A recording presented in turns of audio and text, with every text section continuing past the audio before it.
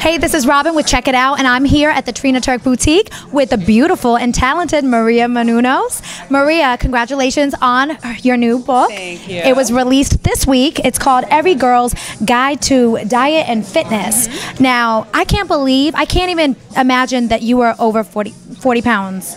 Yeah, you know, it happens. Once it starts accumulating, it's hard to stop it sometimes. And this all accumulated when you were in college. Yes, Of course, I uh, I was off my leash. I guess my parents. We always ate healthy at home, and then when I got to school and there was unlimited food, I took advantage. I was not letting free food go to waste. It's like a kid in the candy store. Exactly. awesome. Now, um, now this is not a diet book. I, I heard you don't like diets. No, I, I actually, when I lost the weight, I never said I was on a diet to anyone, including myself. And I think that that's the best approach because you don't want to set yourself up for failure. You think you're on a diet and then you go out to dinner and maybe you don't have willpower tonight. We're all humans, right? So you order dessert and your friends look at you and they're like, mm, really? And then you feel like a failure and you're like, screw it, I quit. And then you go even crazier than you would have normally. Yes. Yes, I've been there. I know.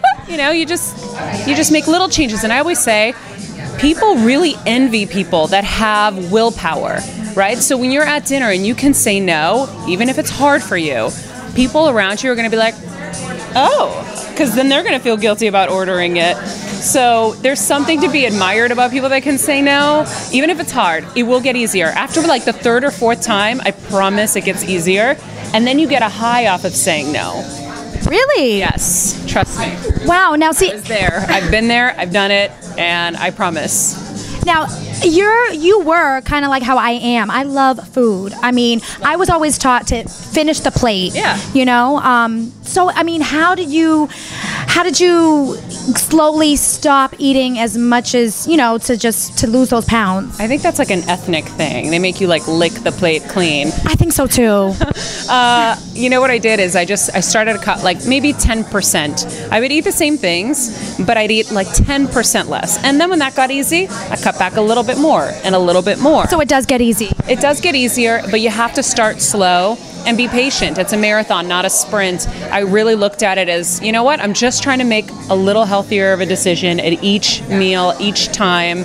Little teeny baby steps, not like throwing everything out and saying, I'm going to eat egg whites and salad for the rest of my life. Oh, That's not feasible. So just make teeny, teeny 10% changes. As that gets easier, make, make more of them. And then eventually, what will happen is similar to what happened to me after five months, I lost 20 pounds without even weighing myself, without saying I was on a diet, without thinking about it, just like melted off. And then I was like, oh man, I didn't know this was possible. Wow. More work, and then you lose whatever else you need to. Wow. Now, I feel I know the book is called The Every Girl's Guide, but I feel like this is specifically for a New Yorker like myself. I mean, we're always on the go, you know, and it's also, you know, it's an expensive city, so sometimes people can't afford gyms, you know? So I feel like this is a great guide for someone that lives in a big city that's always on the go. I mean, you're you're crazy busy. I see the reality show and it's like you get up at 5 and you don't come home till it's dark again. I mean, so uh, how do you stay healthy and fit and looking fantastic like you are? Well, I have all the tips in the book, but the one last thing that I will say is I have a ton of workouts in the back of the book. Make sure you take photos of the ones you love and save them in a camera roll in your phone called workouts. So you can do them whenever and wherever. You can do them at your desk in your office. You can pull over after work, throw some sneakers on, go in the park and do it off a park bench, whatever it takes.